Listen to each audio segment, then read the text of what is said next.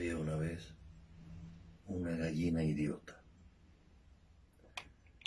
He dicho idiota, pero era más idiota todavía. Le picaba un mosquito, salía corriendo, le picaba una avispa, salía corriendo, le picaba un murciélago y salía corriendo. Todas las gallinas le temen a las zorras, pero esta quería ser devorada por una de ellas. Y es que esta gallina no era una gallina, era una idiota. Mm. En las noches de invierno, la luna de las aldeas da grandes bofetadas a las gallinas, unas bofetadas que se sienten en la calle. Esto es lo que los curas no podrán saber nunca. Pero Dios sí. Y las gallinas también. Será menester aclarar aquí que Dios es un monte vivo. Tiene una piel de moscas, y encima una piel de avispas, encima una piel de lagartos, y encima una piel de golondrinas, encima una piel de gusano, encima una piel de leopardos, y encima una piel de hombre y todo. ¿Veis todo?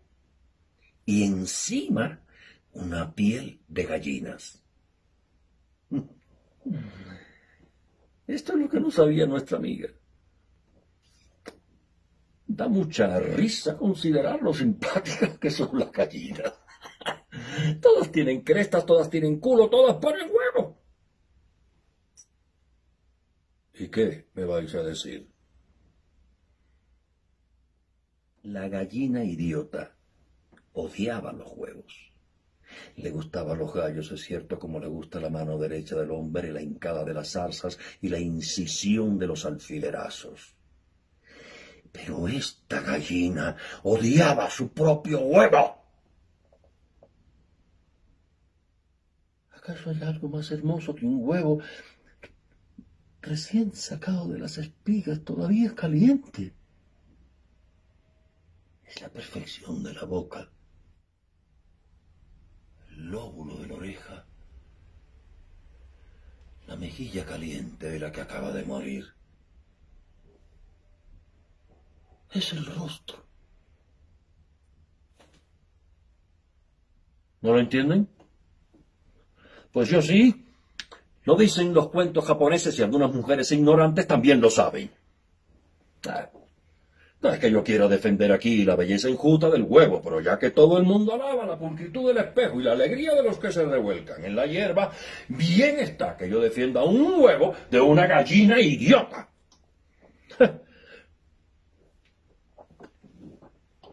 Lo voy a decir. Una gallina amiga de los hombres.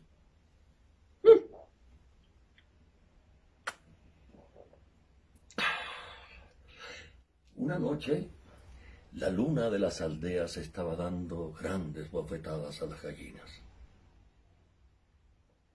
El mar, las carboneras, los tejados tenían la misma luz, una luz donde el aberró, una luz donde el abejorro hubiera recibido todas las flechas del mundo. Nadie dormía.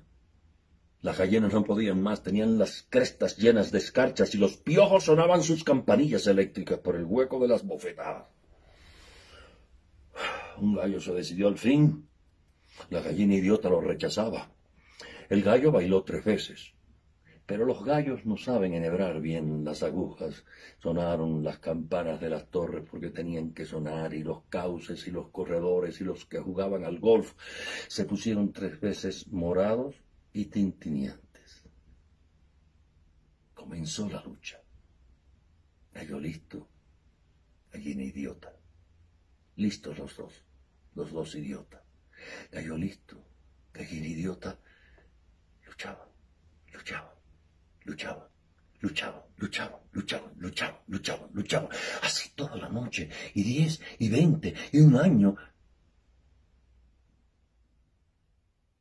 Y siempre